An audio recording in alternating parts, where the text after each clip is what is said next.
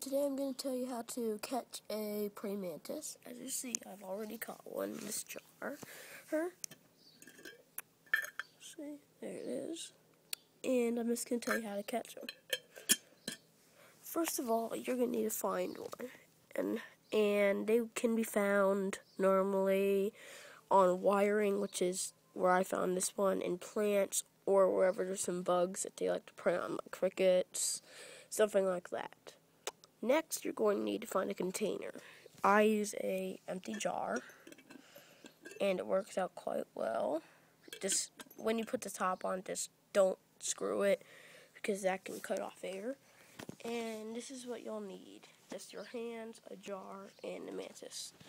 So what you do is when you find it, you're going to want to go to the back side of the mantis. So when it's not looking, you're going to want to cup your hand like this. Don't use both because they can climb out and hurt you. You're just going to go like boom right on it and slowly do this and it'll just climb on. Hold it like this where its head sticks out and if it's claws, start to rig your fingers like that. It may hurt, but it's worth it. You have your jar open. You just, just somehow just throw it in there, put the top on, that's how you catch it. There are many simpler ways, nets and all that. I just don't do that because I don't have that stuff. Okay, bye YouTube.